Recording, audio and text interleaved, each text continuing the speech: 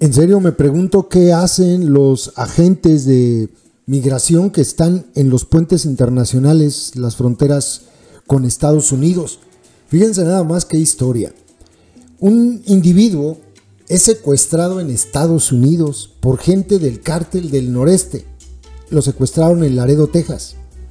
Lo subieron a una camioneta, lo cruzaron por el puente internacional a Tamaulipas y los agentes pues no pudieron hacer absolutamente nada. Pero la historia va todavía más. Miren, hasta este momento se desconoce el destino de una persona de Texas, un ciudadano estadounidense, después de que un grupo de sicarios del cártel del noreste lo sacara de una casa en Laredo, Texas, y lo llevara a Nuevo Laredo, al estado de Tamaulipas. Según los informes, la víctima había estado presumiendo en una reunión haberse robado 50 mil dólares de la facción del cártel del noreste de los Zetas. El secuestro tuvo lugar la noche del 23, madrugada del 24, cuando un equipo de tres hombres armados encapuchados irrumpieron en una casa en la cuadra 3400 de la calle Querétaro, en Laredo, Texas. Según documentos judiciales presentados en un tribunal federal, los hombres armados tomaron a una víctima llamada Eric Tadeo Ramírez a punta de pistola, lo subieron a una camioneta Dodge Ram color azul de cuatro puertas. Los delincuentes se dirigieron directamente a uno de los puertos de entrada internacionales, atravesaron las barreras, se abrieron paso hacia México, la víctima trató de salir de la camioneta, pero las autoridades federales en el puente no pudieron hacer nada para evitar que los hombres armados se lo llevaran a México. Horas después, la hermana y la novia de esta persona llamaron a la policía para denunciar su desaparición. Al día siguiente, el FBI fue a la casa donde ocurrió el secuestro y habló con dos testigos que confirmaron que sí, efectivamente había sido secuestrada una persona. Estos testigos dijeron haber escuchado a la víctima discutiendo con una mujer por teléfono sobre el robo de 50 mil dólares del cártel del noreste.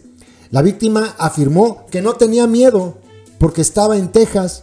En menos de dos horas, los delincuentes armados irrumpieron en su casa y se lo llevaron. Las autoridades identificaron a Jonathan Cabriales como uno de los presuntos secuestradores a través del vehículo que utilizaron los sicarios para cruzar la víctima hacia México. El 27 de marzo, Cabriales intentó cruzar de regreso a Texas, pero las autoridades federales lo arrestaron. Durante una entrevista supuestamente dijo que conducía el vehículo y junto con otros tres hombres armados secuestraron a esta persona, Ramírez.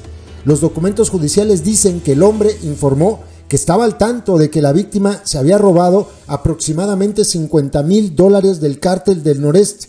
A principios de esta semana, Cabriales compareció ante la jueza federal Diana Son Quiroga, quien le negó la fianza por el cargo de secuestro.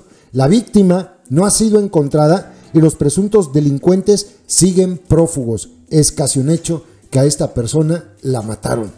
Estaba presumiendo haberles robado 50 mil dólares a los delincuentes del cártel del noreste y que se sentía muy seguro porque pues él estaba en Texas, él estaba en Laredo y pues hasta allá pensó que no le iban a hacer nada. Pues en menos de dos horas ya tenía allá afuera de su casa al comando armado que lo sacó a punta de pistola, lo cruzó por el puente a la vista de las autoridades mexicanas que no pudieron hacer nada y hasta este momento no se sabe ni dónde esté. Así los temas de impunidad en México y la incompetencia también de las autoridades mexicanas y los alcances del cártel del noreste operando secuestros en Estados Unidos. Qué fuerte. Esto, este tipo de cosas son las que contribuyen a aumentar el discurso de los senadores y políticos republicanos de Estados Unidos que dicen que estas eh, organizaciones criminales tienen que ser combatidas militarmente por ellos. Ahora ya tienen hasta pretexto, porque no ocurren los asesinatos, los secuestros, como lo que vimos en Matamoros eh, en territorio mexicano nada más. Ahora hasta en Estados Unidos secuestran gente para llevársela a México. Un horror. Así la inseguridad en el país. YouTube nos hace clasificar los videos que subimos para que puedan ser publicados. En esa clasificación nos indica que los videos relacionados con el crimen organizado no se van a mostrar en sugeridos y no enviarán notificaciones cuando sean publicados. Por eso para poder verlos tienes que ingresar al canal y buscarlos. Todos los días subimos videos con esos contenidos. No olvides que ya abrimos un nuevo canal, Personajes México 2, ve a él dando clic en la pantalla final de este video donde dice, mensaje importante, y suscríbete.